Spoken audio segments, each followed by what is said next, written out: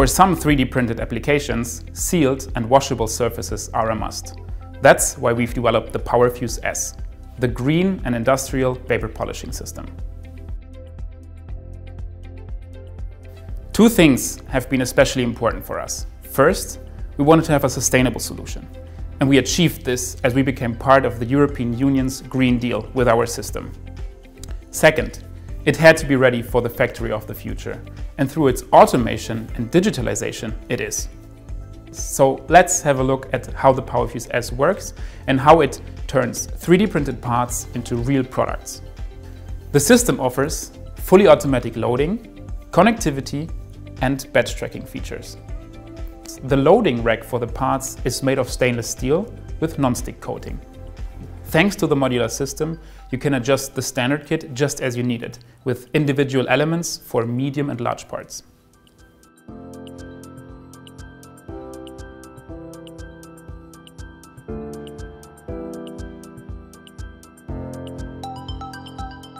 With an optimized rack, you should fit, for example, 20 soles or 100 eyewear frames. This depends on the actual size and geometry, of course. Since the part surface temporarily softens during an iterative process, the parts must not touch each other and therefore have to be suspended in the loading rack. Validated and specially developed programs for all common materials are available and ready to use.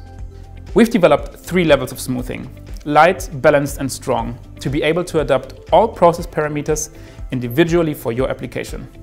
This ensures flexibility and a seamless integration with existing production processes, such as the DyeMansion print-to-product workflow. The entire chamber is flooded with vapor while undergoing vacuum. This allows reproducible processing of complex geometries and internal surfaces. The VaporFuse EcoFluid is non-CMR and approved for the processing of plastics with food contact. The solvent is circulated continuously in a closed loop and automatically recovered by the system. This enables a sustainable, contact-free process without chemical waste. VaporFuse surfacing delivers sealed and washable parts with injection molded like surfaces.